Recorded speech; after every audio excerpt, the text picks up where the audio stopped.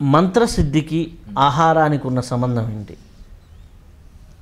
ఆహార నియమాలు మంత్రసిద్ధి రావాలంటే ఎందుకు పాటించాలి? చెప్తారు గురువులు వాస్తవం ఏంటంటే మంత్రసిద్ధికి నాకు తెలిసిన పరిజ్ఞానంలో మంత్రసిద్ధికి ఎక్కువ నేను మాత్రం ఎక్కువ రోజుకు ఒక రెండు అరటి పండ్లు తిని మూడు అరటి పండ్లు తిని మనకు మంత్రసిద్ధి అనేది అనేది మనకు శ్రేయస్కరం. ఎందుకంటే ఆ అరటి పండు మనకి మనకు కావాల్సినన్ని దాంట్లో ఉంటాయి. దాదాపు క్యాలరీస్ ఎక్కువ ఉంటాయి. ఎయిటీ నైన్టీన్ పర్సెంట్ ఉంటాయి క్యాలరీస్ అనమాట అందుకని ఎక్కువ తర్వాత మామిడి పండు. ఏదో ఒకటి రెండు. మనం ఈరోజు ఉండాలి. ఎక్కువ అరటి పండ్లే దొరుకుతాయి. మనకు మంత్రసిద్ధి బాగా సిద్ధి కలుగుతుంది అరటి పండ్లతో ఉంటూ చేస్తే వస్తుంది అంటారు. అంటే నేను ఒక చోట తెలుసుకున్నది. ఓన్లీ పులగమన్నం అంటారు కదా? పప్పు. పెసరపప్పు పెసరపప్పు మంత్ర సాధనకే కాదు. యోగానికి మంత్రశాస్త్రానికి నాడీ మానండల శోధని కానీ ఆహారంలో పులగమన్నమే సత్యం. పప్పొంగల్లాగా చేస్తూ పొంగల్లాగా చేసుకొని ఉప్పును కొంచెంగా ఎక్కువ వాడకుండా ఉప్పు కారం తక్కువ స్థాయి అదే మిరియాలు కొద్దిగా ఉప్పు వేసేసి. మిరియాలు దంచి వేస్తారు. పప్పు పెసరపప్పు అన్నం కలిపి వండేసి కొద్దిగా నెయ్యి వేస్తారు. నెయ్యి వేసి కుండలో ఉడికించుకొని తినాలి. మేము ఇప్పుడు రోజు కుండలోనే. చాలా రోజుల నుంచి మేము కుండలో వండుకొనే తింటాం. అందరికీ వీలును చూసుకొని ఈ సమాజానికి తగినట్టుగా మనం ఆలోచించాలి. ఏదైనా మంత్రశాస్త్రం సిద్ధించాలంటే యూ ఈట్. నువ్వు ఏం తింటావు? What you eat? నేను ఏమి తింటున్నానో ఆ భావం అది ముఖ్యం. నువ్వు ఏ భావన మంచిగా ఉండొచ్చు సాధనా జగత్ సిద్ధికి మాత్రం నువ్వు తిన్న ఆహారాన్ని బట్టి ఉంటుంది ఎక్కువగా తిన్నావనుకో మంత్రం చేయలేము. నిద్రావస్థకి వెళ్ళిపోతాం. కొంచెంగా తిన్నామనుకో శక్తి సరిపోదు. అంటే దేహానికి తరిపోయిన ఆహారము ఎన్నో అద్భుతాలు. ఈ దేహము భిన్న రూపంలో ఉంటుంది. ఇక్కడ ఇప్పుడు మనం తిన్న ఆహారం మన దేహంలో రకరకాల స్థాయిలలో రకరకాల ప్రవర్తనలు కలగజేస్తుంది. వాటన్నిటిని శుద్ధి చేస్తాడు. దాన్ని పంచకర్మ అంటారు. పంచకర్మలు జరగాలి శాస్త్రోక్తమైన కాయ చికిత్స మనం చేసుకోవాలంటే ఇప్పుడున్న పరిస్థితులు ఎక్కడో దూరంగా పోయి అయితే చేయగలం కానీ మన ఈ సమాజంలో చేయలేరు. కానీ అందరూ కాయ చికిత్స అంటున్నారు. ఇప్పుడు బోర్డులు పెడతారు ఇక్కడ కాయ చికిత్స లేకపోతే ఇక్కడ పంచకర్మ అని. పంచకర్మలు అంటే అందరినీ పం ఇదే శాస్త్రీయమైన పంచకర్మ. అయితే మీరు ఇందనకు చెప్తూ శరీరం పొలుసులు ఊడిపోతుంది అని చెప్పారు. చెప్పిన తర్వాత నా సోమరసానికి వెళ్ళిపోయారు. ఆ శరీరం పొలుసులు ఊడిపోయి మళ్ళీ నార్మల్ శరీరం కావాలంటే ఎంత ఎంత సమయం పడుతుంది? ఒక సంవత్సరం పడుతుంది? ఒక సంవత్సరం. ఒక సంవత్సరం ఆ పులుసులన్నీ ఊడిపోయిన తర్వాత దేహం బాగా తెల్లగా అవుతుంది. అంటే దేహం అంతా పులుసులు ఊడిపోయి ఎంట్రుకలు కంప్లీట్గా వెళ్ళిపోతాయి. అంటే రిమూవ్ అవుతాయి. తల మీద కూడా. కూడా. కనురెప్పలు కను తల మీద ఎక్కువ ఒకసారి ఊడతాయి కొన్ని ఊడతాయి. ఎన్ని ముందు ఊడిపోతాయి ఇక్కడ.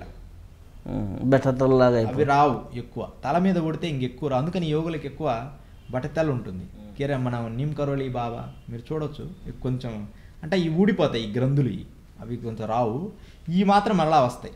మన ద్వారాహట్ ప్రాంతంలో ఉంటారు అందరు యోగులందరికీ కూడా వందేళ్ళు దాటింది యోగి కంటే ఆయనకు బట్టనెత్తే ఉంటుంది మొత్తం వీలైనంత వరకు జుట్టు ఉండదు. అంటే పాత నుంచి జటాజూటాలు ఉండి వెనకాల పట్టుకొని ఉంటాయి తప్ప ప్రత్యేకంగా ముందు భాగం అంతా కూడా ఆ గ్రంథులు ఊడిపోతాయి. గ్రంథులు ఊడితే కానీ గ్రంథసారము తెలియదంటాడు మా గురువు ఒక ఆయన. గ్రంథులు ఊడాలి. మనలో ఉన్న సాధన వల్ల గ్రంథులు ఓడాలి మన లోపల. గ్రంథులంటే అన్నీ ఎన్ని గ్రంథులే. ప్రతి రోమ రోమము గ్రంథే. అవన్నీ ఊడిపోవాలి. అప్పుడు గ్రంథములో ఉన్న సారం మనకు వస్తుందట గ్రంథాలు అలా చదవాలట. గ్రంథులు ఊడిపోవాలంట గ్రంథాలు చదివితే. అలాగే స్వామి ఈ యొక్క కాయ చికిత్స ఈ వన్ అండ్ హాఫ్ ఇయర్ కానీ చేస్తే మళ్ళీ ఇంకొక అరవై సంవత్సరాల వరకు వారి శరీరం ఎక్స్టెన్షన్ అవుతుంది అంటారు. ఎంతవరకు? ఇది యథార్థ సత్యమే.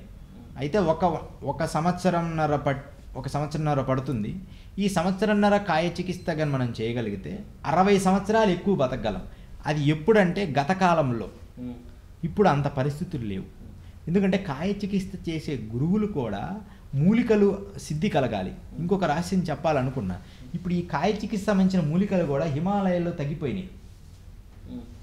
ఈ కాయ చికిత్సకు సంబంధించిన మూలికలు కూడా హిమాలయాల్లో తగ్గిపోయింది చాలా వరకు. అక్కడక్కడ ఎక్కువ దొరకడం లేదు. ఒక నదీ జలాల దగ్గర కొంచెం పీచు వస్తుంది. పాచిలాగా. అది తీసుకోవాల్సి వస్తుంది.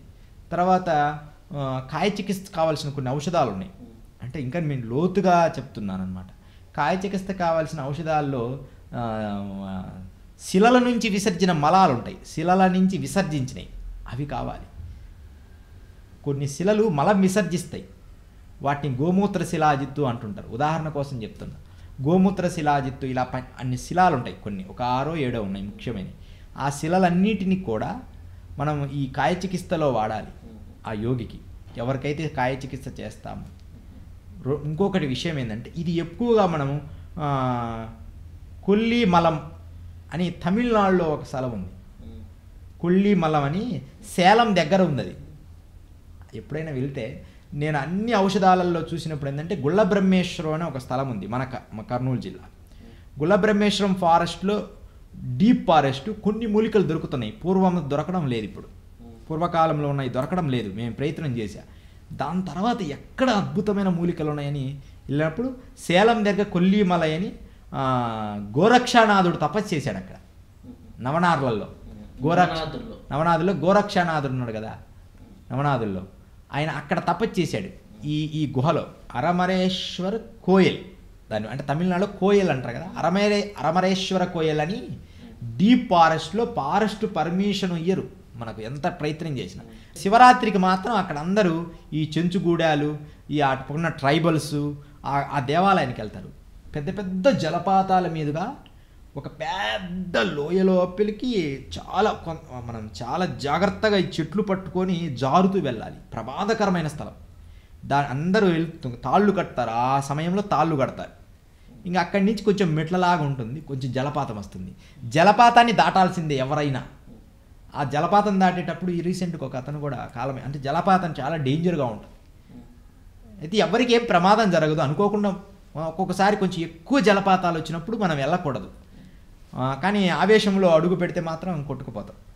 అలాంటి ఆ జలపాతాన్ని దాటి ఆ గుహకు చేరితే ఉంటుంది చల్లటి వాతావరణంలో పెద్దటి గుహ. ఆ మహర్షి గోరక్షానాథుడు తపస్సు చేసిన గుహ ఉంది. అక్కడ నేను ఈ ఈ మూలికలన్నీ అక్కడ దొరుకుతాయి. చాలా వరకు సిద్ధ మూలికలన్నీ కూడా ఈ ఈ సేలం దగ్గర ఉండే కొల్లిమలం అనే ఫారెస్ట్లో మనం